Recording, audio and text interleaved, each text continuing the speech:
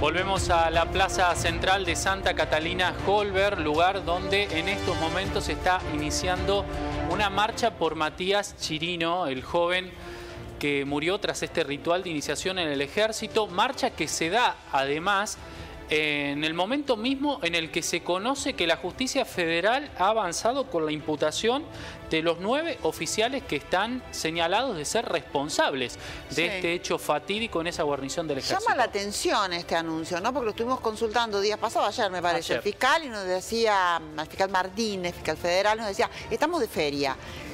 Pero bueno, se anunció el tema de la marcha y ahora las imputaciones. Bueno, claramente esa medida judicial tiene que ver o responde a la necesidad de amortiguar lo que podía surgir de esta marcha y el reclamo de los familiares que iba dirigido precisamente a eso, Jorge, celeridad a la justicia y avance hacia las imputaciones. Así es, efectivamente, y bueno, los familiares habían previsto esta marcha para pedir justicia. Eh, no sabemos realmente cuál es la opinión que tendrán a partir de estas imputaciones, pero eh, seguramente ellos siguen muy firmes con este reclamo, porque estamos hablando de imputaciones. Claro, hay que seguir muy de cerca lo que ocurra con esta investigación y todo este proceso para finalmente saber eh, quién o cuántos van a ser responsables, si es que así lo encuentra la justicia, de haber provocado la muerte eh, de este joven subteniente de tan solo 22 años. Y vamos a dialogar con Luciana, eh, que es eh, prima y a su vez también quien ha estado organizando esta marcha para el día de hoy. Luciana, muy buen mediodía. ¿Cómo le va? ¿Cómo está? Buen día, gracias. Bueno, mm, vamos a reiterar una vez más, ¿por qué motivo, por qué motivo se lleva adelante esta movilización? Estamos acá reunidos para pedir justicia y para que nos den la verdad sobre la muerte de Matías. Eh, hoy recibimos una noticia de que, bueno, que empezaba la imputación a los nueve participantes de la muerte de Mati. Y más que nada para que nos escuchen, para acompañar el dolor de sus papás y de su hermana Ariana. Y bueno, nada, estamos acá para pedir justicia y verdad. ¿Tienen previsto entregar un petitorio allí en el batallón? Sí, eh, así es. Eh, vamos a dar la vuelta de la plaza y nos vamos a marchar para el batallón para entregar un, petitorio con la firma de sus papás, de su hermana Ariana y bueno y de todos los que estamos en la marcha. Bien, gracias Luciana, muy amable. Eh, vamos a seguir nuestro diálogo con amigos. ¿Cómo estás? Bueno, ¿cómo, ¿cómo definirías a Matías? ¿Cómo lo recordás? Una persona con, con muchos principios, una persona de bien, una persona que ayudó, colaboró en el momento que estuvo y que pudo, que siempre se llevó de manera excelente con sus amigos, compañeros, con familia, que nunca tuvo un problema con nadie, era un chico sano y bueno, demás características que lo hacían un hombre eh, muy responsable. Sí.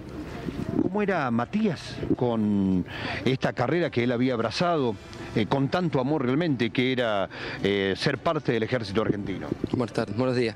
Eh, sí, la verdad que esto ha sido un arrebato total lo cual él siempre estaba orgulloso de lo que él hacía, él cada vez que nos juntamos, así sea comer un asado, compartir un momento, él siempre nos contaba su orgullo hacia, la patria, hacia todas las, cosas que él hacía, nos contaba con, con, una pasión, la verdad que nosotros estamos orgullosos de él, de, que él nos defiende como, como patriota, la verdad. Eh, y bueno, entonces esto es como el dolor de, saber que ya estaba a punto de cumplir su sueño y que se lo arrebataron así de la nada. Porque esto no, no fue un accidente, esto fue, una, fue algo provocado, que eso es lo que más te duele. Hoy como amigo, ¿Qué quieres realmente? Que sea justicia, que, se sepa la verdad, que no sea como en otros casos, que los culpables se hagan cargo. Entonces, esta marcha va más que nada por eso. Gracias, muy amables. Bueno, eh, vamos a seguir, vamos a dialogar ahora con Ezequiel Chirino, el papá del joven Matías, y ya lo vamos a hacer también con el doctor Enrique Novo.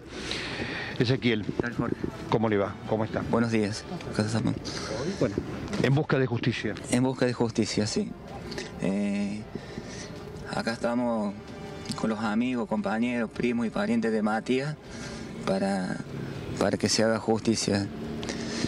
en este... recientemente se ha conocido que mm, la justicia de la provincia de Corrientes ha dispuesto imputar a nueve integrantes del ejército a quienes, por lo menos hasta aquí, de acuerdo a los elementos reunidos, habría encontrado, podrían resultar eh, responsables por la muerte de Matías. Esto como papá, ¿qué opinión le merece?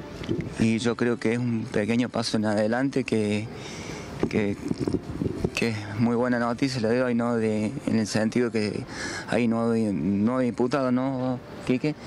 Y, y bueno, y algunos secuestros, no, no, no tengo bien entendido en eso todavía. Doctor Enrique Novo, buen mediodía. Bueno, ¿qué se sabe con relación a la imputación de estos nueve integrantes del ejército? Bueno, recientemente se ha levantado el secreto de, sumario y bueno, ahí nos han informado el, requerimiento que hizo el fiscal de que se impute por homicidio a estos nueve a estos nueve oficiales del ejército y también se los impute de abuso de autoridad en relación a lo que sucedió con los otros dos subtenientes, el homicidio de, Matías por un lado y el abuso de autoridad con respecto a los otros. Se trata de nueve oficiales del ejército. Nueve oficiales del ejército. No hay civiles. Hasta ahora no, hay solamente oficial y también se ha dispuesto todo lo que fue el secuestro de los celulares de los imputados, se dispuso la realización de una segunda autopsia que va a estar a cargo del Instituto Forense de la provincia, la familia ya puso su perito de control, el doctor Subirás, y mm, bueno, estamos a la espera de que esto vaya materializándose, pero bueno, es una buena noticia en, búsqueda de la verdad, ¿no? ¿Cuál es la imputación y si la imputación es para todos la misma? Hay una imputación de homicidio simple para los nueve eh, oficiales que estuvieron involucrados en, esta cena trágica.